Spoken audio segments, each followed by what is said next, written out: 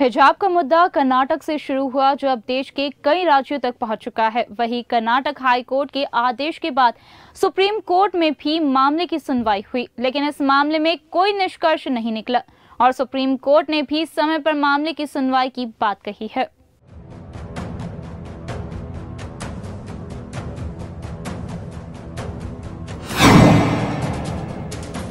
हिजाब पर विवाद, सुप्रीम कोर्ट पहुँचा।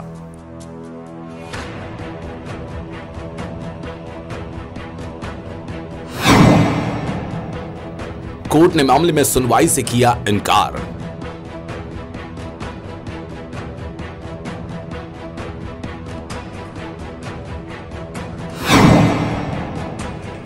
हाईकोर्ट में सुनवाई का दिया हवाला।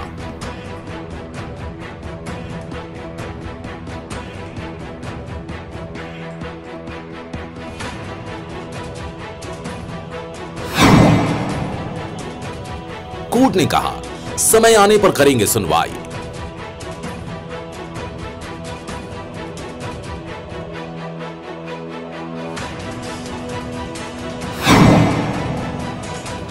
लोगों से शांति बनाए रखने की अपील की।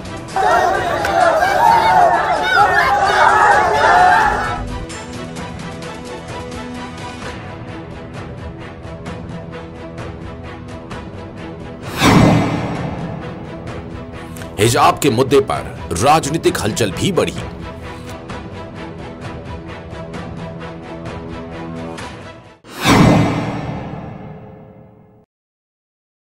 कर्नाटक के हिजाब विवाद में दखल देने से सुप्रीम कोर्ट ने इनकार कर दिया। सुप्रीम कोर्ट में शुक्रवार को कर्नाटक हाईकोर्ट के उस फैसले के खिलाफ अपील की गई, जिसमें हाईकोर्ट ने स्कूल, कॉलेज में धार्मिक कपड़े पहनने पर रोक लगा दी थी। अपील में कहा गया कि इससे मुस्लिम छात्राओं के अधिकार कम हुए। सुप्रीम कोर्ट ने इस अपील पर अर्जेंट सुनवाई से इनकार कर दिया। अदालत ने कहा, सही वक्त आने पर वो इस मामले को देखेगी।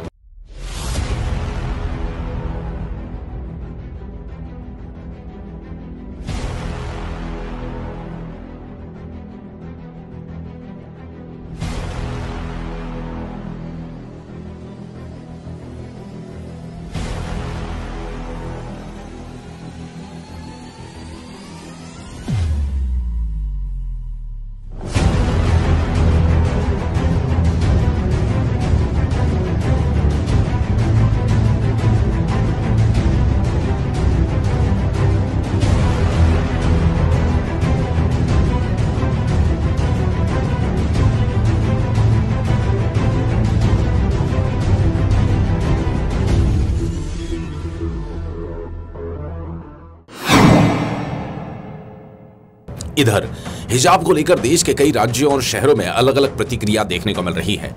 मध्य प्रदेश में नेताओं की अलग अलग बयानबाजी इसे धार्मिक मुद्दा बना रही है। कांग्रेस इस मामले में बीजेपी को लगातार घेर रही है। कांग्रेस नेताओं का कहना है, हिजाब पहनने की परंपरा आज की नहीं, इसे वर्षों से इस्तेमाल किया जा रहा है। लेकिन अब बीजेपी इस मामले में राजनीति कर रही है। कांग्रेस नेताओं का कहना है, हिजाब से आज तक कोई परेशानी नहीं हुई तो अब इसको मुद्दा क्यों बनाया जा रहा है? पहले मेरा उनसे सवाल है कि वो मुझे स्कूलों की दुर्दशा बताएँ कि स्कूलों में आज की तारीख में जिन स्कूलों में फर्नीचर नहीं है, जिन स्कूलों में बैठने की व्यवस्था नहीं है, उस पर उन्होंने क्या करा? तब वो हिजाब के ऊपर उंगली उठाएँ। हिजाब सत्तर सालों से स्कूलों में लड़कियाँ पहनकर जा रही हैं। एक भी उदाहरण कहीं से ला के दे दें पूरे हिंदुस्तान का कि एक भी उदाहरण कहीं से गलत मिलता होगा जिसमें हिजाब पहनने की वजह से कहीं इंस्टीट्यूट का कोई एटमॉस्फेयर, कोई माहौल खराब हुआ हो। एक आध ला कर दें, उसके बाद उंगली उठाएँ। माननीय, ये देश संविधान से चलेगा, जो बाबा साहब अंबेडकर ने दिया, ये देश गांधी की विचारधारा से चलेगा, गोडसे की विचारधारा के और आपकी शब्दों से ये देश नहीं चलेगा। मध्य प्रदेश में इस तरह का जो भी इशू होगा, उसका कड़ा विरोध करेंगे और किसी हाल में उसको लागू नहीं होने देंगे। इधर, हिजाब पर छिड़ी जंग के विरोध में भोपाल में मुस्लिम समाज की महिलाओं ने हिजाब पहनकर ही फुटबॉल और क्रिकेट भी खेला।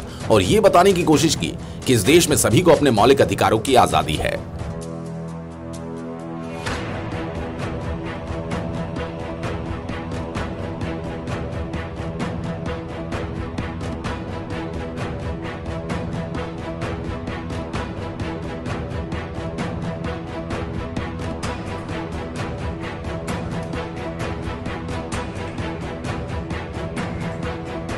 इधर भोपाल के एक और वायरल वीडियो ने मामले को हवा दे दी। भोपाल की सड़कों पर हिजाब पहने हुई मुस्लिम समाज की महिलाएँ बाइक पर स्टंट करती दिखाई दी। एक ही बाइक पर चार से पाँच महिलाएँ बैठी नज़र आई।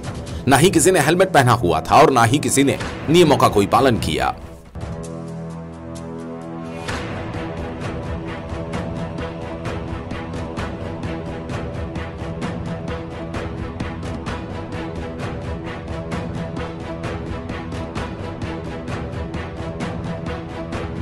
इन महिलाओं के वायरल वीडियो पर प्रदेश के गृह मंत्री डॉक्टर नरोत्तम मिश्रा ने भी अपनी प्रतिक्रिया दी। साथ ही ये भी कहा कि फ़िलहाल सरकार के पास अभी हिजाब पर प्रतिबंध को लेकर कोई प्रस्ताव नहीं।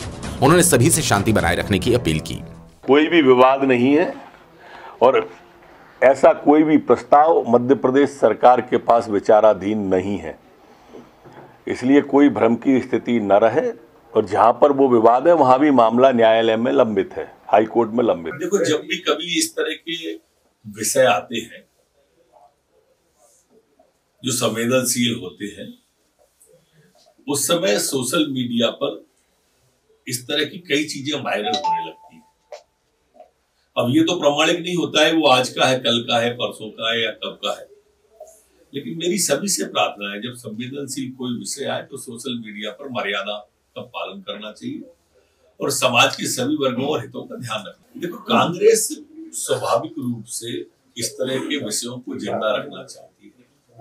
मैं फिर कह रहा हूँ कि संवेदनशील विषय आए तो उसमें राजनीति न की जाए। फ़िलहाल हिजाब मामले में पूरा मामला कोर्ट में विचाराधीन। ऐसे में ये मुद्दा अब राजनीतिक रंग भी ले चुका है। स्कूल और कॉलेजेस में वर्षों से मुस्लिम महिलाएँ हिजाब पहनकर जा रही हैं।